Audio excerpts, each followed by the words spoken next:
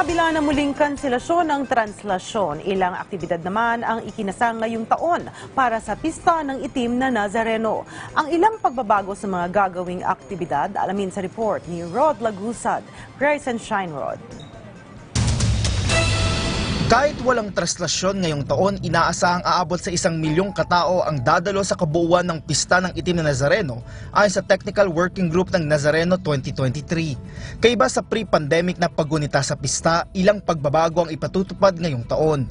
Isasagawa ang pagpupugay na magiging kapalit ng nakagawiang pahalik na gagawin sa Quirino Grandstand.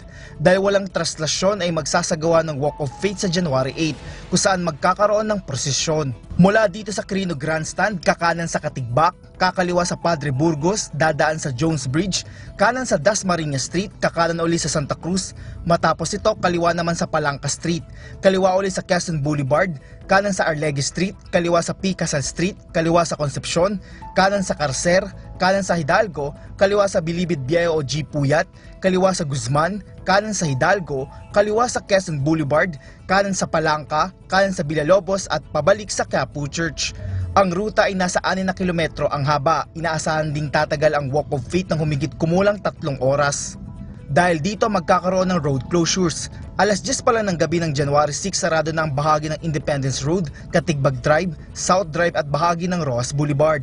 Simula January 7, 7pm ay isasara naman ang mga kalsada sa paligid ng Quiapo Church. Isasara ang mga bahagi ng Quezon Boulevard northbound and southbound, Espanya Boulevard westbound and eastbound, Evangelista Street, Raon Street, P. Paterno Street, Carriedo Street, C. Palanca Street at Busto Street. Ganon din sa northbound lane ng Rizal Avenue, northbound lane ng MacArthur Bridge, eastbound and westbound lane ng Recto Avenue at Nicanor Reyes Street. Inabisuan naman ng publiko na dumaan sa mga alternatibong ruta patungo sa kanilang destinasyon. Una nang sinabi ng Manila Police District na bukas ng alas 5 ng hapon, ang send-up sa kanilang mga tauhan kung saan initially ay nasa 3,000 personnel ang mula sa MPD at may 2,000 ding augmentation mula sa NCRPO at iba pang National Support Unit. Rod Lagusad, para sa Morning Show ng Bayan, Rise and Shine Pilipinas.